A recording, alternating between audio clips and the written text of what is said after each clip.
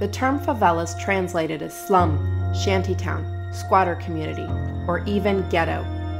These terms evoke negative imagery about crime, violence, and poverty. These translations are not accurate and are incredibly damaging. Favelas are simply Brazilian neighborhoods that have emerged from an unmet need for housing.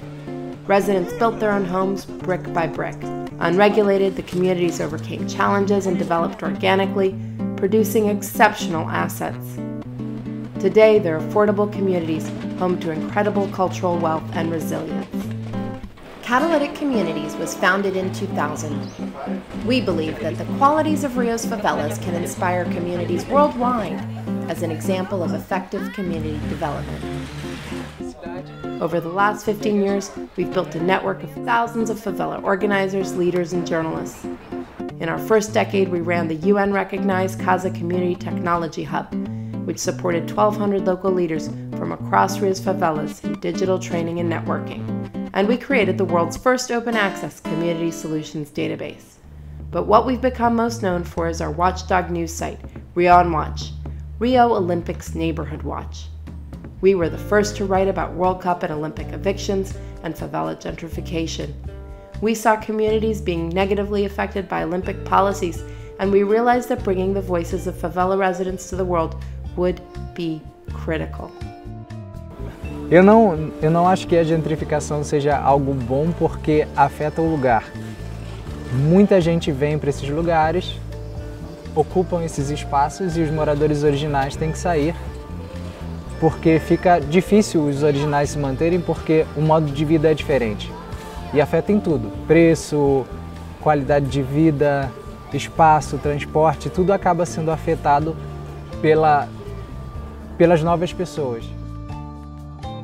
Então a juíza está passando por cima de todos os direitos da gente, por toda, por cima de tudo e de todos, para tirar a gente da comunidade. Eu não acho justo, porque quando a gente chegou aqui, era alagado, não tinha casa, não tinha terra, não tinha nada. Since then, we've published nearly 1,200 articles covering all aspects of Rio's urban development from favela perspectives.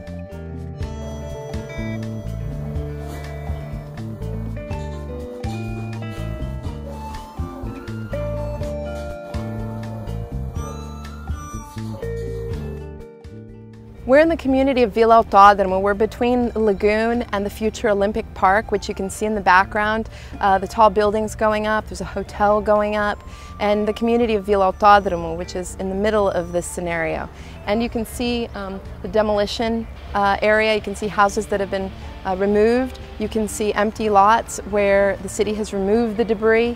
Uh, you can also see standing houses because 150 families are still resisting eviction here. Jogos Olímpicos, Jogos Olímpicos não é o meu inimigo, e sim depois dos Jogos Olímpicos, porque os Jogos Olímpicos podem acontecer e eu posso continuar morando aqui.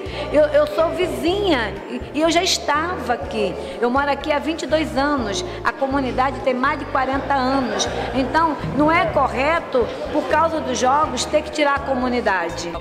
Since 2009, we're on watch and our work with journalists has been key to tracking events unfolding here. And making much of that visibility possible. This year, we launched Rio on Wire, the world's first favela news wire. Anyone can now follow in real time bite sized event updates and breaking news from Rio's favelas.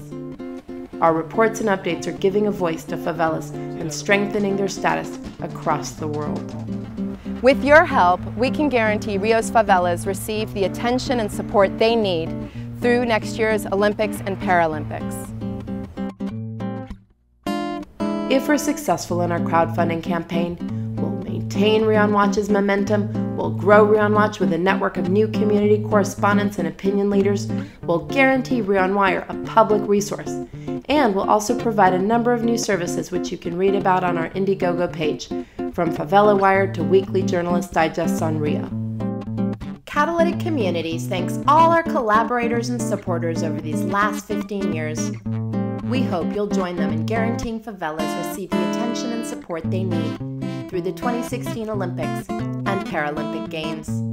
Thank you for your support.